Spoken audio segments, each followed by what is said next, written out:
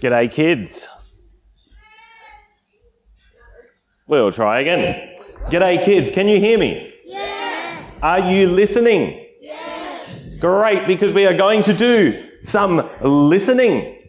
Okay, we're going to sit still and quiet for 15 seconds. About 15 seconds.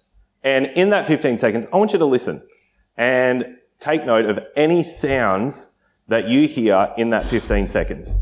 Do you understand what we are doing? I'm not convinced, but we'll try. Okay, ready? Go.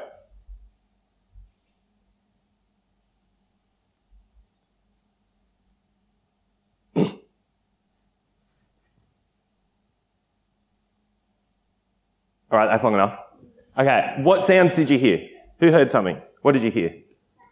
That thing, the heater going. Great. What else did you hear? What did you hear? Same thing. It's pretty loud, isn't it? It's got this nice low hum going. Yes? What do we got over here? You heard me. What did I do?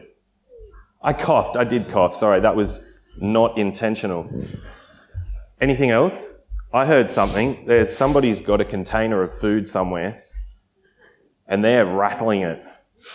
We heard lots of different sounds then, didn't we? What did we just prove that we can do? We can listen. We can hear. What have we got on our heads? Ears. And what do they enable us to be able to do? Listen. They help us to listen. Actually, they, they make us listen. These are what make us listen. Do you know that in the Bible passage today, we're doing Revelation and we're looking at chapters two and three today. And in this section, uh, there's all these little letters to seven different churches. And each letter finishes with this same little saying that says this. It says, let anyone who has ears to hear listen to what the Spirit says to the churches. Now, it says there, anyone who has ears to hear. Do you guys all have ears to hear? Do they all have ears to hear? Some of them, maybe the ears don't work as well, but at some point they worked well. Who do you think needs to listen to these letters then? Everyone. If you follow Jesus, then you need to listen to what is said in these letters.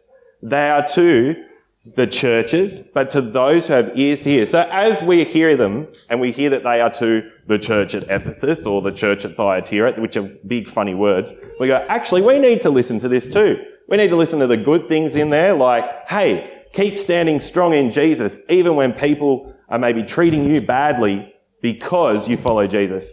And we li- need to listen to the bad bits like, hey, you, you're starting to do what all those bad people are doing. Turn back to Jesus and say sorry. We need to always be listening to what God says in His Word, don't we? And then you all say, yes, Steve. Yes. Great. That means you've been listening. Okay. Let's pray. Oh, sorry. One last thing. Here's a challenge for you with your families this week. There are seven letters and there are seven days in the week. So why not each day, if you haven't done it this previous week, read one letter each day and have a think about what is this one saying to us with the ears to listen? What is maybe encouraging us or maybe what is in there that's telling us, oh, we need to be thinking harder and doing something different here. Okay? There's a challenge for you and your families this week. Now I'll pray. Lord God, thank you for giving us ears. Thank you that we can listen, but more importantly, thank you that we have your word and that we can listen to it and hear you speak to us. Please help us to listen as we do that. Amen.